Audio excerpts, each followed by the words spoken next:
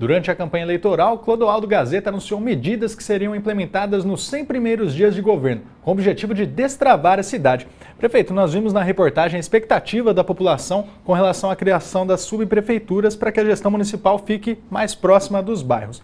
Essa foi uma das propostas colocadas, anunciadas durante sua campanha eleitoral e que ainda não foram concretizadas inclusive, né, dentro desses 100 dias. Tem uma previsão de quando isso vai ser colocado em prática e como que vocês esperam tornar a prefeitura mais próxima dos moradores nos bairros? É, essa ação ela já foi colocada em prática, apesar do nome ainda não ter mudado, né, ainda continua como regional administrativa, mas essa ação na prática já foi alterada nós já temos um, várias equipes funcionando nas regionais administrativas. Do ponto de vista legal, ela só vai ser concluída a partir do momento que a gente encaminhar para a Câmara Municipal o novo organograma, que deve ser feito agora essa semana, com a nova estrutura da prefeitura. E aí as regionais administrativas passam a ser de fato subprefeituras. Né? É, com isso, a gente pretende fazer com que é, cada região da cidade possa ter um olhar mais refinado para os seus problemas específicos, seja na questão da limpeza de rua, de bueiro, de melhoria da, da situação das praças, capinação, poda de árvore, ou seja também na questão de discussão de políticas públicas, porque são nas regionais administrativas, as subprefeituras, depois do organograma aprovado, é que serão debatidos os novos, é, é, o orçamento do município, né? Vou dar um exemplo de como isso vai funcionar na prática. Para esse ano, nós vamos destinar para esse orçamento participativo 2 milhões de reais em investimentos. Vão ser as pessoas dos bairros que vão definir aonde vão ser usados esses 2 milhões de reais. Sobre a questão da atualização desse novo organograma, o senhor comentou que o texto deve passar pela Câmara já nos próximos dias. Com a aprovação dessa matéria, quais são as principais mudanças que vão ser sentidas de imediato? Olha, as principais mudanças são do, de cunho administrativo. Né? Você tem aí fusão de secretarias, você tem é, divisão de serviços entre secretarias. Vou dar um exemplo prático: a, Secretaria de Obras deve assumir uma parte do que é da Secretaria de Planejamento hoje, principalmente em termos de elaboração de projetos. Né? Vai ficar tudo para a Secretaria de Obras. Você tem uma secretaria, por exemplo, do meio ambiente, é, com ações mais inovadoras para a cidade. É, você tem a criação da Secretaria de Governo, né, que vai fazer a, a, a, gestão de todas as subprefeituras do município, que é uma estrutura que não existe na prefeitura. E mais do que isso, nós estamos enxugando grande parte dos cargos comissionados de livre nomeação, valorizando inclusive funcionários públicos para ocupar esses cargos que hoje grande parte deles vinham de pessoas de fora da prefeitura. Né? E nós vamos fazer uma inversão é, a maior parte dos cargos comissionados da Prefeitura serão feitos por indicação de funcionários públicos de carreira. Prefeito, na semana passada foi anunciado que uma grande montadora procurou a Prefeitura para instalar uma unidade na cidade e, em paralelo, foi encaminhado um projeto de lei à Câmara que dá mais dinamismo na concessão de áreas nos distritos industriais. E pensando, além dessas duas ações, que outras iniciativas a Prefeitura tem tomado ou deve tomar para incentivar a geração de emprego? Bom, nós já fizemos grande parte do destravamento da cidade que a gente havia pactuado no plano de governo. Você tem um conjunto de legislação que já foi encaminhado para a Câmara para que a gente possa fazer com que a Prefeitura fique mais ágil na concessão de áreas, né? mais ágil e transparente, porque até então é, toda empresa que queria uma área na cidade de Bauru não sabia aonde pedir, se era na Câmara de Vereadores, se era na Secretaria de Desenvolvimento, se era para o prefeito. Hoje você tem uma regra que foi pactuada junto com o Ministério Público para que você possa ter uma transparência nessa destinação de áreas públicas.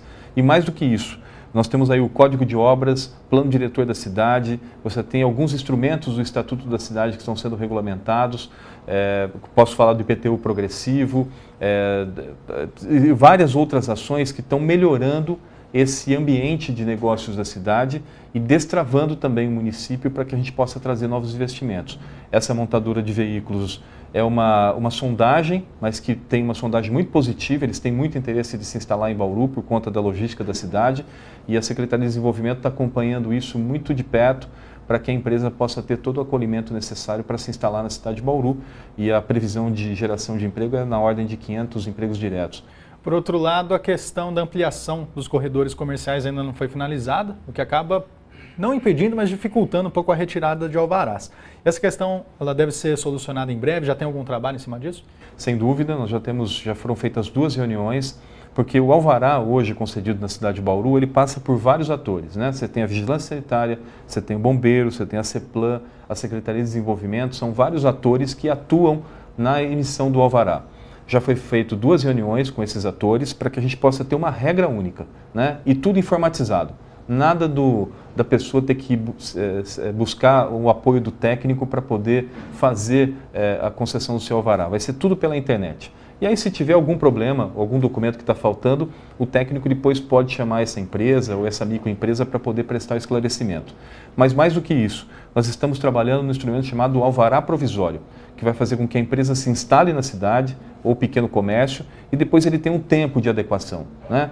Para melhoria do seu imóvel, para adequação da questão da, da, do corpo de bombeiros, para vigilância sanitária.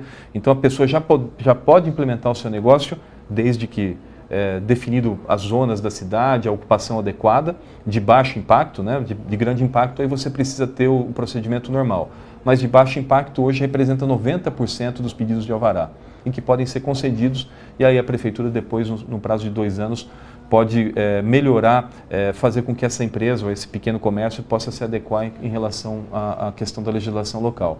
Mas esse, esse, esse processo está em tramitação e a gente espera nas próximas semanas já ter um, um uma, uma ação legal, né, uma legislação para ser encaminhada para a Câmara Municipal. Prefeito, recentemente os servidores municipais decretaram greve e a greve terminou depois de uma declaração do senhor falando que não faria mais negociações e que realizaria o corte de ponto dos funcionários que estariam em greve. Como que a prefeitura deve dar continuidade à relação junto ao sindicato, inclusive para evitar tipos de atritos como esse? É, nós fizemos um, um, movimento muito intenso com o funcionalismo público e não só na questão específica dessa conversa a respeito salarial, mas desde o início do governo nós já fizemos uma conversa com vários setores da prefeitura para correção dos PCCS que tiveram distorções ao, longo do tempo. A greve é, que aconteceu na cidade também vem um pouquinho do reflexo dos governos passados. Os, os funcionários tiveram muitas perdas em governos passados e trouxeram para o nosso governo essa relação de perdas.